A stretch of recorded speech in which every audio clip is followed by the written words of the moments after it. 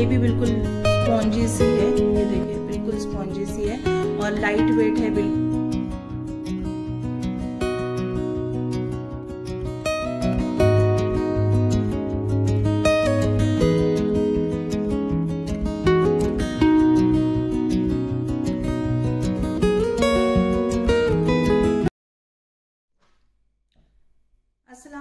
कैसे हैं आप सब? आई होप आप सब बिल्कुल ठीक होंगे। तो जो लास्ट वाला मेरा वीडियो था ना, ये उसी के आगे कंटिन्यू कर रही हूँ मैं, और ये उसी दिन का वीडियो है। अभी जस्ट मैंने एक ब्लॉग खत्म किया है और दूसरा मैं अभी शूट कर रही हूँ।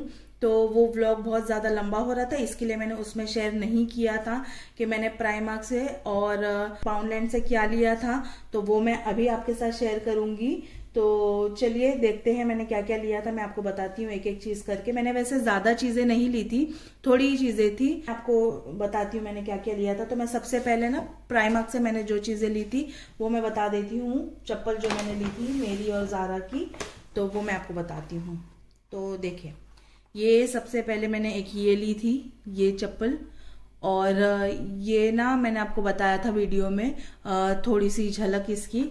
अच्छा बहुत, दूसरी वाली जो चप्पल है ना, वो बहुत से लोग शायद अंदाज़ा लगा लेंगे, क्योंकि मैंने बोला था कि अंदाज़ा देख के हो जाएगा, और वो मैं अभी आपको बताती हूँ, पहले आप ये देखें।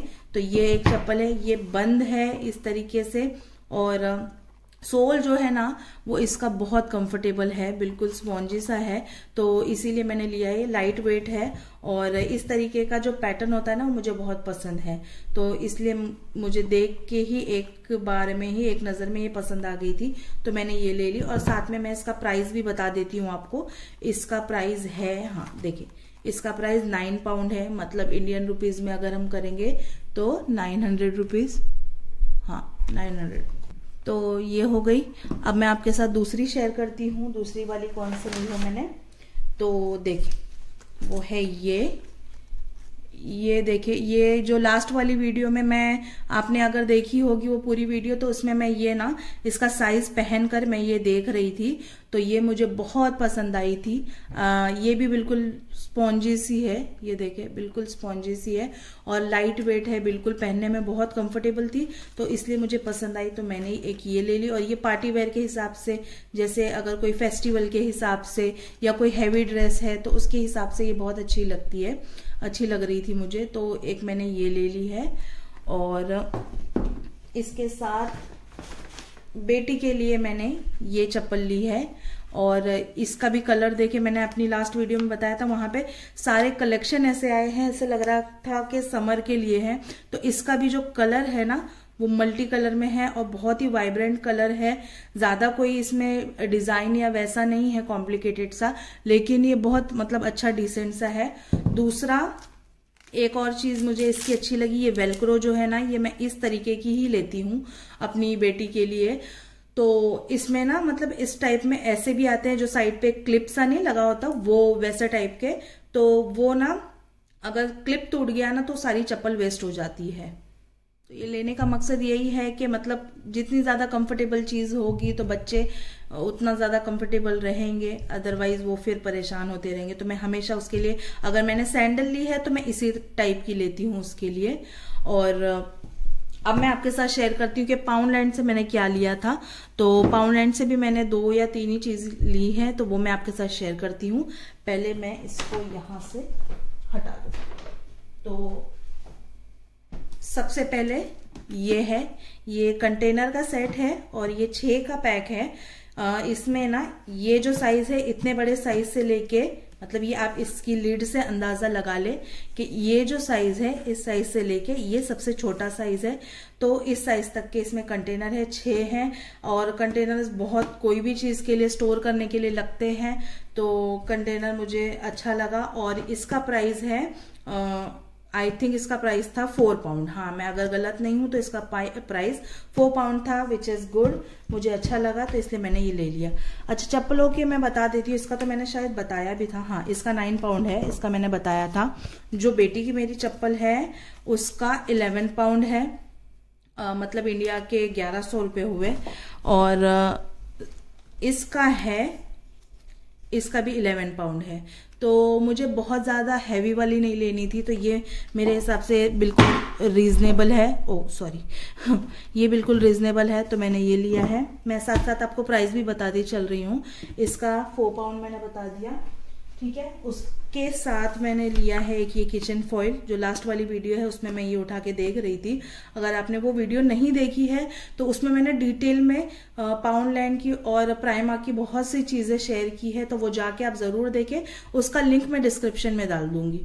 ठीक है? तो ये एक लिया है, इसका प्राइस था वन पाउंड तो वन पाउंड बहुत मतलब सही था रिजनेबल था तो ये तो लगता ही रहता है बेकिंग वगैरह के लिए या किसी भी चीज़ के लिए। तो ये एक मैंने ये ले लिया है। उसके बाद मैंने ली है एक ये ट्रे। ये बहुत बड़े साइज़ की ट्रे है। पता नहीं वीडियो में पता चल रही है या नहीं, इस पे देखें। लिखा है लार्ज रोस्टर रोस्टिंग भी करते हैं इसमें। जो होल चिकन या अगर कुछ रोस्ट करना है ना तो वो भी करते हैं। और साइज़ इसका बहुत अच्छा बड़ा है। एक्चुअली मुझे ये लेने का मतलब क्या है कि मुझे मेन जो हमारा मुंबई का लादी पाव होता है ना, वो बनाना है। तो इसलिए मैंने ये लिया है कि इसमें इजीली बन जाएगा। वैसे यहाँ पे तो ब्रेड वगैरह बहुत अलग अलग टाइप के मिलते हैं, लेकिन जो पाव भाजी के साथ खाया जाता है ना, वो मुझे मतलब बनाना था, घर पे ही बनाना था तो इसलिए मैंने ये लिया है कि ये मैं उसमें बना सकूँ और भी चीज़ों के लिए काम आ जाएगा। ठीक है? तो ये इतनी चीज़ें थी। अब मैं इसके बाद ना आपके साथ शेयर करूँगी जो आपने अगर मेरा पुराना वीडियो देखा है, जब मैं रमज़ान की शॉपिंग कर रही थी एजडा से तो वहाँ से मैंने एक सैंडविच मेकर लिया था। तो उसका मैं रिव्यू आपके साथ शेयर करूँगी कि वो कैसा है, उसकी अनपैकिंग आपके साथ करूँगी। तो आप जाके वो देखें, ठीक है? तो तो जी ये रखा हुआ था, मैंने आपको बताया था जब रमज़ान वाली वीडियो मैंने डाली थी शॉपिंग की। उसमें बताया था कि ये मैंने लिया था एसडा से। तो अभी इसको मैं ओपन करूँगी और आपके साथ भी शेयर करूँगी कि ये कैसा है। इसको मैंने अभी तक ओपन नहीं किया है और ना ही यूज़ किया है। तो पहले ओपन करती हूँ, उसके बाद यूज़ करूँगी तो आपके साथ शेयर करूँगी कि इसमें कैसे सैंडविचेस वगैरह बन रहे हैं। तो चलिए स्टार्ट करते हैं।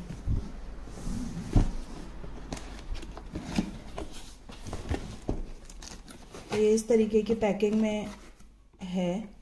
और ये आई थिंक ऑयल के लिए है। हम्म, ये ऑयल के लिए है आई थिंक और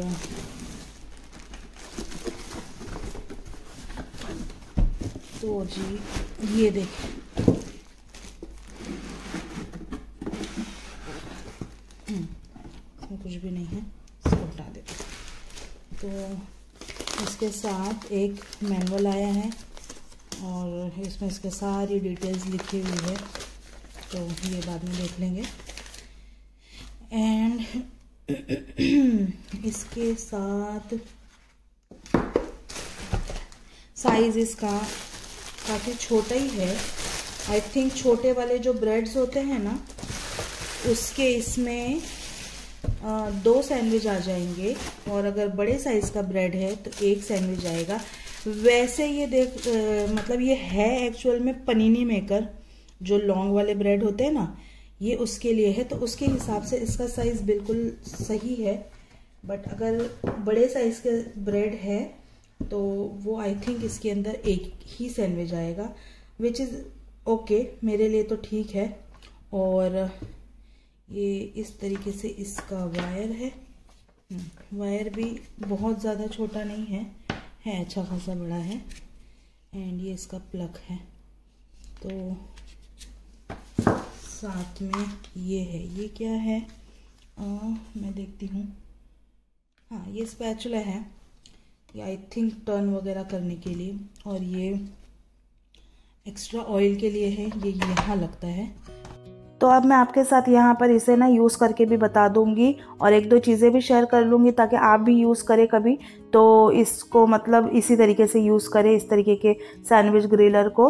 तो यहाँ पर मैं अभी इसे ना प्लग में लगाऊँगी, इसे इसकी बटन ऑन करूँगी और सबसे पहले ना इसे एक वेट टिश्यू से या मतलब नॉर्मल टिश्यू से थोड़ा पानी लेके ना इसे पहले क्लीन करूँगी और उसके बाद ना इसे अच्छी तरीके से हीट कर लूँगी। बिना कुछ इसमें डाले, अच्छी तरीके से एक बार ये गर्म हो जाए, उसके बाद स्विच ऑफ़ करना है हमें बटन और इसे ठंडा होने देना है। कोई भी इलेक्ट्रॉनिक आप इस तरीके का सैंडविच मेकर या कोई भी जैसे वॉफल मेकर सैंडविच मेकर होता है, वो इसी तरीके से यूज़ करें। एक बार उसे हीट करके उसे कूल डाउन कर ले, उसके बाद ही उसमें कुकिंग करे तो वो अच्छा होता है। और मैं यहाँ पर आपको ना नान मेरे पास रखी हुई थी तो वो मैं आपको ग्रिल करके बताऊँगी कि कितने अच्छे मार्क्स आए थे। और ये छोटा सा है, बिल्कुल तो थोड़ी सी जगह लेता है तो मैं सजेस्ट करूँगी इसे कि आप भी इसे ले सकते हैं। ये मतलब अच्छा था यूज़ करने। और अब इन नेक्स्ट वीडियो में आपके लिए लेकर आऊँगी ईद का।